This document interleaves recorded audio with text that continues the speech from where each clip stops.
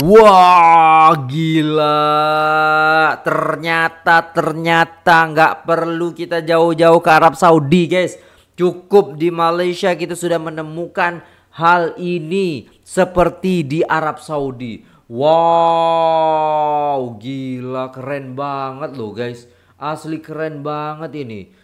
Wow.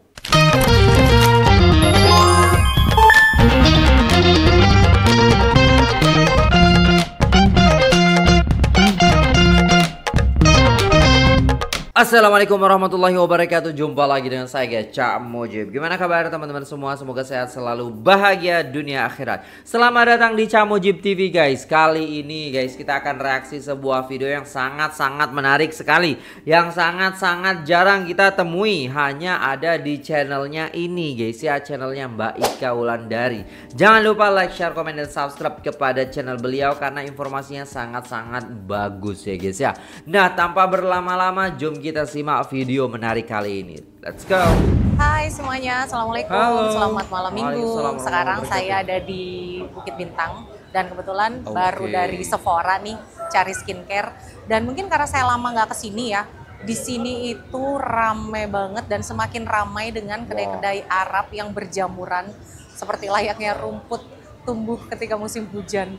Nggak oh. tahu juga kenapa ya, kok banyak banget gitu kedai-kedai Arab Kok bisa? Yuk coba kita lihat-lihat. Mungkin Wah, buat yang kangen ya udah lama dari Arab Saudi ke, ke Bukit Bintang. Kayaknya nih. Mau lihat sekarang Bukit Bintang tuh kayak apa? Wow, sekarang rame banget. Ini benar-benar pusat turismenya Malaysia. Oh, ini orang Yang semakin berkembang sih. Ya.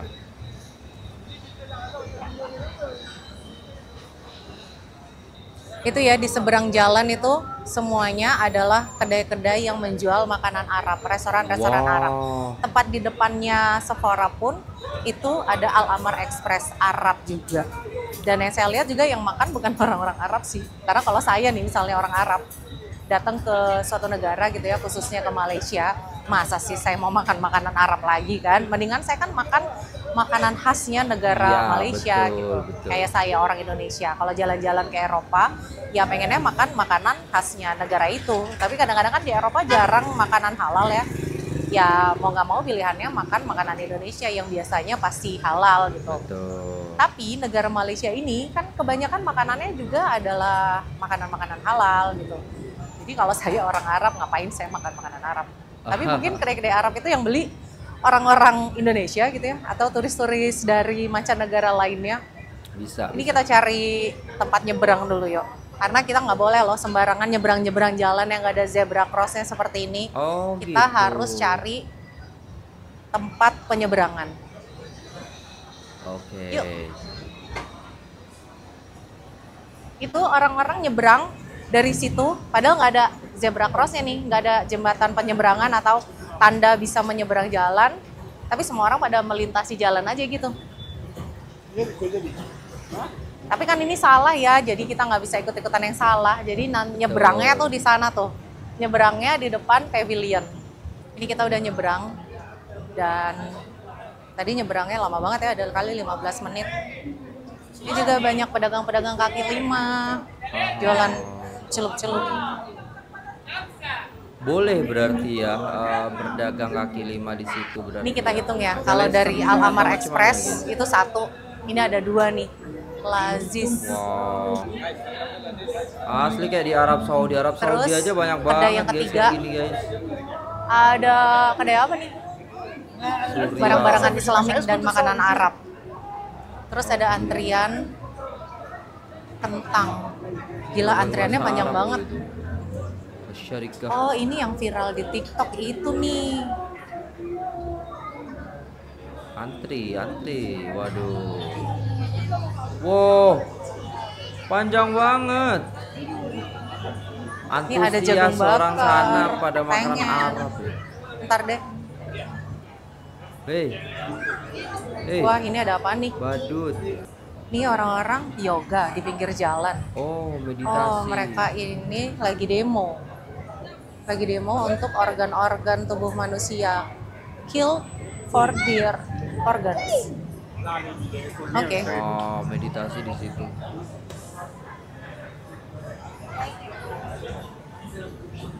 Jadi kita udah hitung ada Rame tiga banget Arab. deh di Kemudian sini. nih yang keempat bukan ini rame kandar. Nah ini Go Tarbush. Ini kedai yang keempat. Oh, terbus. Ini sering ini lewat orang. Wow, ini orang Arab sekali. Berasa kita jadi turis guys. juga. Wow. Kemudian restoran yang kelima adalah Madfun Palace. Aha. Yes. Wah. Nah ini nih yang lagi rame banget. Uh, Damaskus. Tuh rame terus ini ya. Ini tinggi banget loh sampai atas. Wah. Ini satu, dua, tiga, empat, empat tingkat. Wow. Gila investasi Dan rame gede banget coba mau masuknya. Modalnya di situ gede banget guys. Wow, tapi antusiasnya rame banget. Gila, Berarti rame banget. Iya. Ini udah like luar biasa sekali Damaskus memang. bisnisnya. Ini jedahnya ini. Kalau kalau dibilang itu dalam aja jedah gitu kan. banget. Di Jeddah tuh kan kayak gini guys. Kita nggak usah lah ya ikut-ikutan untuk ngantri masuk ke dalam. Lihat dari luar aja udah cukup. Iyalah. Wow, ramai sekali. Ngapain? Masih banyak makanan yang lain gitu Wow. kan. Seru ya, Wow. seru banget. Wah banyak pengemis juga. Tuh pengemis-pengemis ada di mana-mana. Ciri-ciri kota besar itu adalah banyaknya pengemis. Oh, ada yang sambil ngaji. Kalau di Amerika itu ya pengemis juga hampir tiap meter ada. Orang-orang yang nggak punya rumah, sama aja. Saya baru lihat hal ini guys ya pengemis-pengemis itu baru lihat di Bukit Bintang nih ada Lah, jarang sekali ke expose ya mungkin ya mungkin tidak lewat di situ gitu kan. Jalan Ini kayak di Kuala. Lumpur. Wow, ramenya. Oke. Apalagi ini malam minggu kan. Tambah. Orang-orang ke mana lagi kalau nggak ke Bukit Bintang? Ini saya juga sebenarnya males kalau nggak ada perlu tadi ke Sephora. Oke. Dan karena udah sampai di sini, kenapa nggak sekalian ngonten? Karena Ya, saking lama udah sih, nggak ngonten. Kita bisa tahu kan. Oke. Nah ini katanya Shibuyanya Kuala Lumpur. Ya, bisa dikatakan sekarang tuh jedahnya. Wede. Kan di sana Oh, terkenal kiri Cornish gitu kan di Jeddah itu. Saking ramainya sampai sekarang lupa tadi mau ya. ngitung ada berapa kedai Arab ya? Udah kelima. Banyak banget loh kedainya. Nanti Kedai kita Arab. ke sana ya lihat rame-rame ada kan? Dan biasanya kalau Arab tuh Seneng ya kalau udah rame kedainya, gini, apalagi kalau inget dibandingin waktu zamannya covid. Waduh, banget. suram banget, suram. Jadi mendingan ramai begini deh daripada suram-suram kita dikurung di rumah. Tuh. Oke, sebentar lagi kita akan nyebrang dan nyebrangnya ini viral juga loh di TikTok.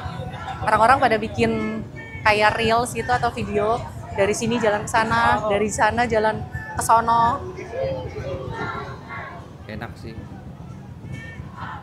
Itu ada demonstration tuh. Apa tuh? Oh, ada demo tentang Palestine. Oh ya di depan situ, oke kelihatan. Wow. Pas banget ya demonya tuh ada di waktu-waktu ketika rame banget.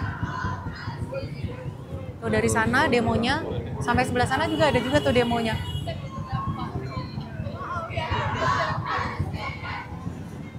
Wow. Wow, rame ramenya. banget yang nyebrang. Seru banget. Gila, rame banget.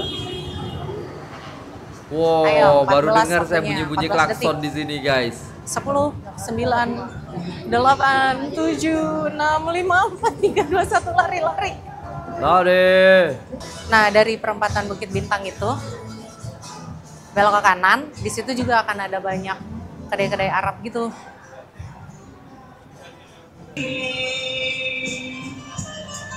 Ini juga Arab. Ban- itu pengamennya nulis bantu saya karena bankrupt. Kenapa? Bankrupt kenapa ya? Oke, di sini pun juga banyak kedai Arab nih.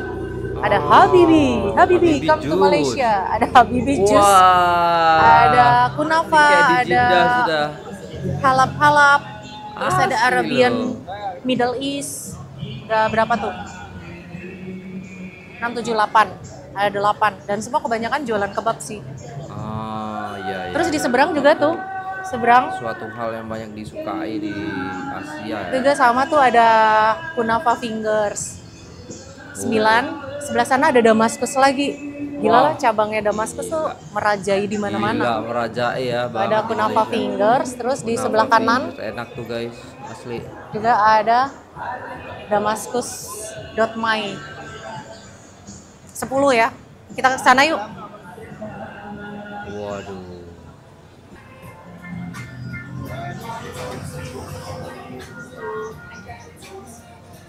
Apa ini guys? Waduh, mantap. Ini makanan-makanan India juga ya. Oh. Udah sih. Di sana ada lagi. mantap nih kita bisa tahu sisi lain ya sisi lain yang banyak yang banyak itu adalah Shibuya Jepang kayak Jepang Itu Jepang gitu dan juga ada shawarma street. tempat-tempat yang Kayaknya memang terkenal di sampai barat sini ya. gitu ya guys ya Pusat keramaiannya New York kita gitu kan, balik lagi ke ataupun, sebelah sana. eh, kita lihat keramaian ya, yang tempat-tempat lainnya. ramai Keramaian apa? Keramaian dangdutan. keramaian orang ngamen yuk. wow motor gila Dan sepanjang saya di Jalan Bukit Bintang ini ya, kebanyakan ketemu orang-orang Indonesianya tuh bukannya cuma satu dua, tapi ada banyak, Banyak sekali. banget. Hampir semua orang-orang Indonesia. wow Hampir 70% kali ya. Turis-turis dari Indonesia ataupun mungkin orang-orang yang kerja di sini, orang-orang Indonesia yang kerja di sini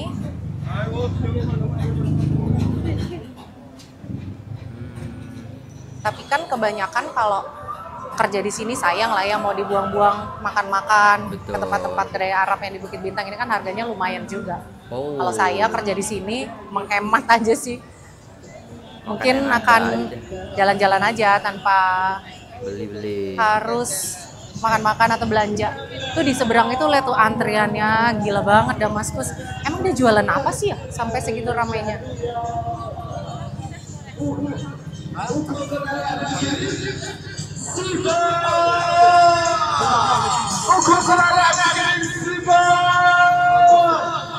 Itu ada orang ya ikutan nyanyi di pengamen yang bengkrat tadi, jerit-jerit nggak jelas kayak orang mabok gitu.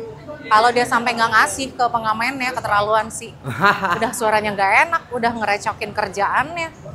Kalau dia main pergi aja sih disumpahin aja tuh.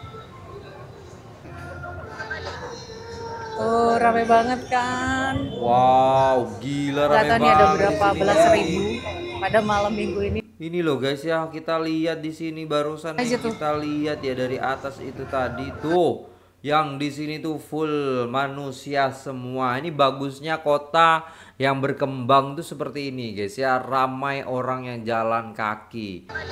Wow, Tuh, kayak di Hongkong itu kan. kalau malam minggu gila banget. Gak Di ada juga kalau belas malam ribu minggu, waduh. pada malam minggu ini di Bukit Bintang. susah kita nak Itu cari loh, parkir yang kita mau jalan itu. aja kayak Lihat udah pengamen itu macet orangnya gitu guys Tadi kedai Arab Zain Al Syam itu udah kita hitung 11. Sebelahnya ada Turkish Kebab 12. Sebelah sananya ada Al Sultan 13. Sebenarnya kalau mau ke arah Sungai Wang itu lebih banyak lagi. wow Ya kan? Nah ini si abang-abang ini nih terkenal loh di TikTok. Artis-artis Indonesia tuh banyak yang collab dan nyanyi sama dia terus diposting kayak Charlie. Terus waktu kangen band itu juga kan Genji Buster. sama si abang-abang ini.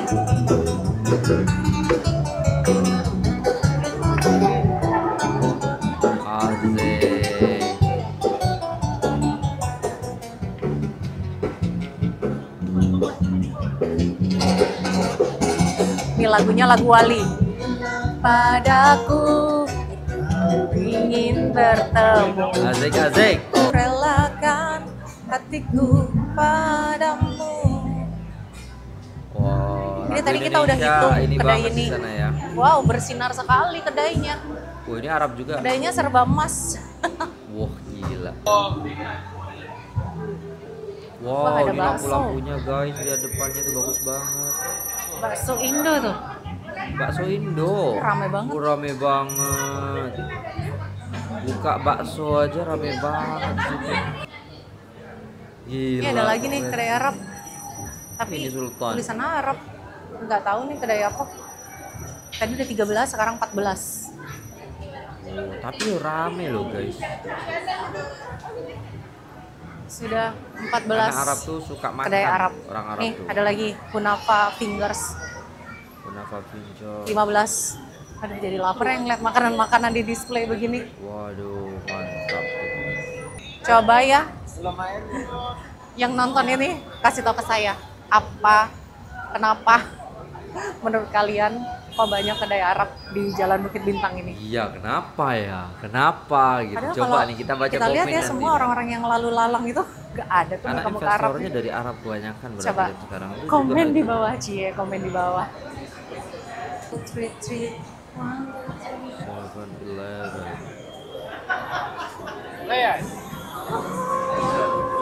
Oke. Wah zaitun nih, ini yang dulu viral. Ini yang dulu viral si zaitun Oke, ini ini makanan- 15. Nih 16 nih Saudi Burger. Iya iya Waduh, dari Saudi Burger enak Jadi namanya tuh. Saudi Burger. Jalan kaki dari Pavilion Fahrenheit sekarang ke Sungai Wang. Capek juga tahu keliling-keliling sini. Wow. Ya udahlah ya, sekian aja buat yang cari makan makanan Arab datang ke Kuala Lumpur. Anda nggak perlu jauh-jauh datang ke Arab Saudi. Jadi dapat Malaysianya, dapat Arab Saudinya. Bye bye. Dapet. Oh, mantap. Alright ya, udah selesai videonya dan itulah tadi ya guys ya. Malaysia sekarang serasa di Arab Saudi, serasa di Jeddah kita jalan-jalan di Malaysia. Kok bisa begitu ya guys ya? Ya Allah, saking banyaknya kedai-kedai Arab di sana, investor-investor Arab juga sudah banyak banget di Malaysia guys ya. Sedangkan orang Arab itu kalau buka restoran tidak tanggung-tanggung ya. Kalau kita tahu duitnya itu guys ya, masya Allah ya kan. Ah itu. Jadi kalau apa namanya, saya nggak heran gitu ketika orang Arab itu buka di sana dengan restoran yang sangat-sangat banyak dan juga megah ya, bagus gitu ya guys ya. Oke, di sini ada komentar guys ya. Orang Arab ada uang datang melabuh, buka restoran di Bukit Bintang dan juga daerah-daerah lain di Malaysia. Mereka juga ada buka di negara-negara lain betul. Di Malaysia mereka lebih mesra dengan pemerintah sebab sama agama Muslim. Nah itu guys, mengembangkan ya, sama-sama mengembangkan uh, usaha ataupun bisnis daripada uh, orang Muslim sendiri ya. Jadi kita saudara seagama gitu kan. Nah seperti itu. Jadi lebih mudah gitu kan. Kebiasaan orang Arab uh, terutama dari Arab Saudi yang tinggal di sekitar Mekah datang ke Malaysia bila di sana musim haji sebab mereka menyewakan rumah-rumah mereka pada ajan jemaah haji lalu mereka keluar melancong pada ya pada Arab lainnya akan datang ke Malaysia Bila di negara mereka ada cuti yang agak panjang, iya sih, mereka banyak yang ke Malaysia, Indonesia, Singapura. Intinya mereka itu orang Arab. Kalau musim haji itu yang saya tahu juga pengalaman. Jadi saya punya teman orang Arab waktu itu dulu. Jadi mereka itu, oh saya pergi ke Indonesia tahun kemarin. Nah tahun ini saya mau pergi ke Singapura. Nah kayak gitu guys ya. Dia cerita gitu. Terus dia bilang wah Indonesia itu bagus banget ya. Nah gitu. Nah ya setiap orang itu pasti punya penilaian masing-masing dan mereka itu ketika pergi ke suatu negara ya mereka menikmati liburan mereka gitu guys ya. Intinya tidak menjelek-jelekan. Nah gitu guys ya. Oke itu dulu videonya. Terima kasih sudah tengok video ini. Jangan lupa like, share, komen, dan subscribe. Saya Pemin Ududri. Wassalamualaikum warahmatullahi wabarakatuh.